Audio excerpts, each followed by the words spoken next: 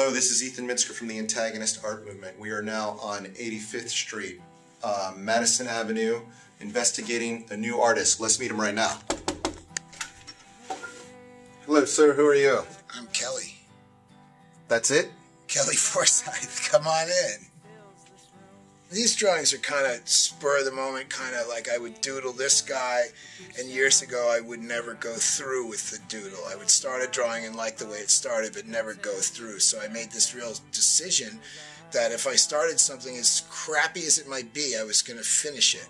So really, that's where like this guy comes from. His face isn't isn't great, and it's not anatomically correct, but I like it, and it, it, it, he kind of like get a weird feeling from him. I basically just whittled down. You know, it was a matter of I, I went to art school and I learned how to use a lot of different medium. I was a, a illustration major and, and learned how to paint with acrylics and gouache and and draw and uh, and, and, all sorts of medium.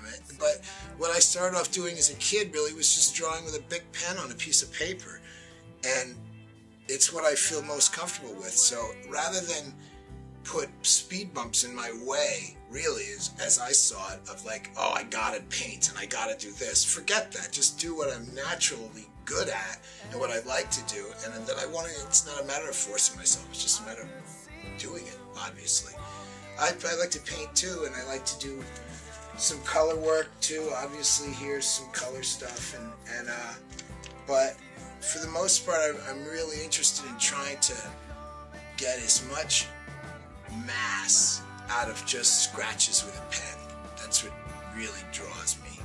I just, I love it. I love being up close and it's one little tiny line and then when you step back it becomes part of this whole thing. It becomes part, each little tiny bit makes up the whole picture. I did this for Kill Slug. I drew this first, right? And Big Daddy was like, I love it, I love it, I love it, but it's too intricate and it's not going to transfer onto a t-shirt and we need something you know, something really uh, graphic and bold. I said, okay, so I did that.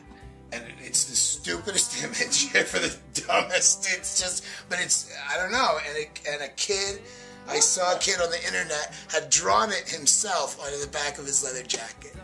And that to me was the best compliment I've ever had in my life as far as my artwork goes. I think of it like this if I was in prison, I'd be doing this. I would still be maniacally doodling away, scratching away at a piece of paper with a pen. I've got a website that's going to be up pretty soon, unfortunately not yet, but you can reach me at kblounge at aol.com or on Facebook, Kelly Forsyth. You gather